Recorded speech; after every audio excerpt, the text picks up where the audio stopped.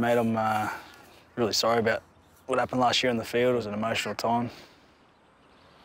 That's all right, mate. I probably should have spoke to you. It did hurt my feelings. Probably reacted in the wrong way, though. Thanks, mate. No worries, Mylesy.